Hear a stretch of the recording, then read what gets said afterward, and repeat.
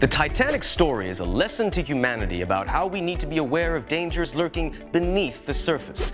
Likewise, if you choose a non-genuine part over a genuine Cummins part, you'll face many dangers that are hidden. There is a world of a difference, even though it may not be obvious to our natural eyes. The difference in tensile strength, specifications, and dimensions could greatly decrease the efficiency and life of your Cummins engine. Now let's look at some real-life examples. At the heart of the engine is the piston. This is a critical component that is always working under stressful environments. So let's look closely at the raw materials that make up the piston.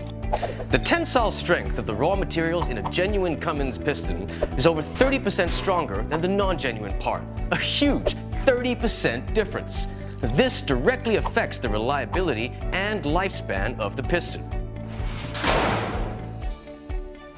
Did you know that there is tremendous force transmitted from the piston to the connecting rod via the piston pin? Therefore, the diameter of the bore has to match the pin perfectly. Now, the non-genuine part does not match in terms of diameter size. Now, you might think, only 0.035% difference? That's negligible. This difference seems minute and insignificant to the eye, but it can lead to fatigue and cracks in the pin bore, which may bring severe damage to your piston. Now, can you be certain that what you've purchased is running properly and safely? Now, let's look at the top ring on a piston, which directly affects emissions and oil consumption. In order to run clean and efficiently, it should be correctly positioned according to the right angles to avoid top ring scuffing. Now the non-genuine part has a slight difference between the angles. Again, the numbers might look small, but the difference is great, even if it cannot be identified with the naked eye. The risks you take are a drop in engine output power, overheating, higher emissions, and excessive oil consumption. That also means more maintenance and costs. Let's go deeper. A genuine Cummins connecting rod bearing is constructed of six layers. In the non-genuine product, all the materials are incomplete except the steel back, which effectively means they only have three layers instead of six. What does this mean? Well, look how easily the connecting rod bearing corrodes and rusts.